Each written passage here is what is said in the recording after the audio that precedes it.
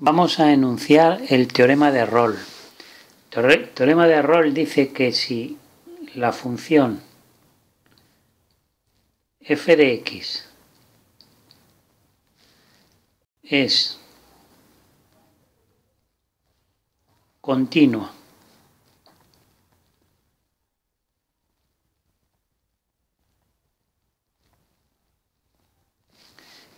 en el intervalo cerrado AB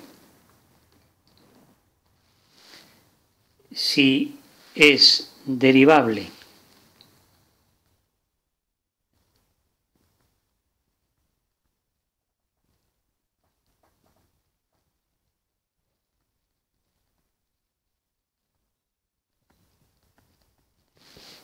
en el abierto mismo intervalo pero sin contener los extremos.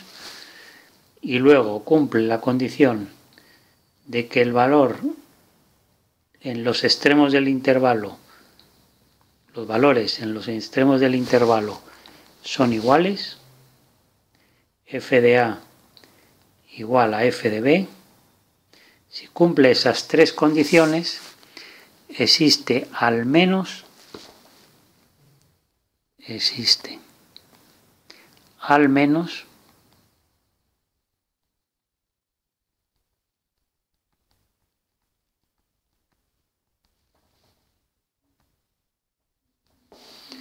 un valor C, C que pertenece al intervalo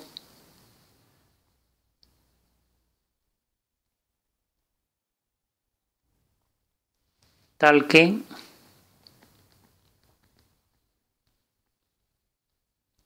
la derivada para ese valor es cero. Geométricamente quiere decir que hay un punto en el cual la derivada para ese punto es horizontal. ¿eh? Entonces, si lo vemos la interpretación geométrica, lo entenderemos enseguida.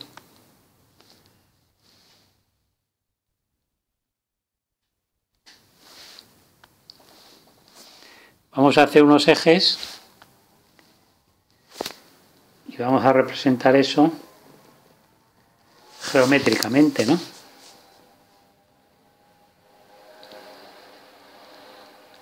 Que sea continua es que podamos dibujarla solo con un trazo, ¿no?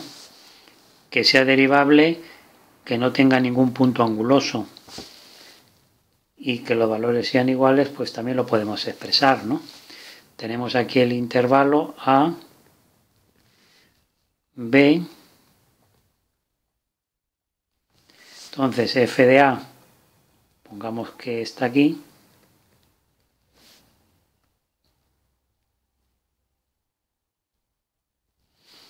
pero f de b hemos quedado que era el mismo. Por lo tanto, tiene que estar también ahí.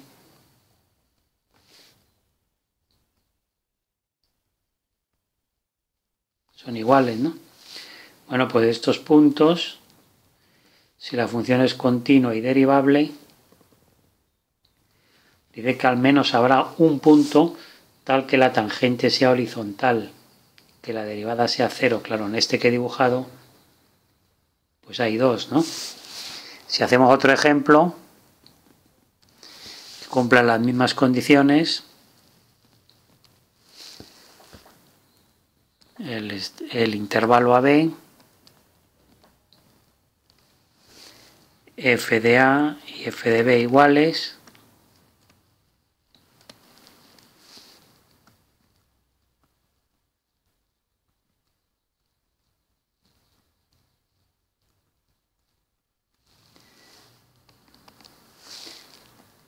Si la función, por ejemplo, fuese así, pues aquí estaría el punto C. Tangente horizontal, punto C. En el otro había dos, lo hemos dicho, ¿no? C1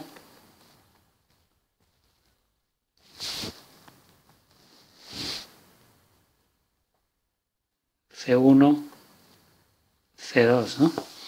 Aquí habría 1, ¿no? Y si fuese, por ejemplo, una función constante, pues habría infinitos, ¿no? Porque tendríamos el A y el B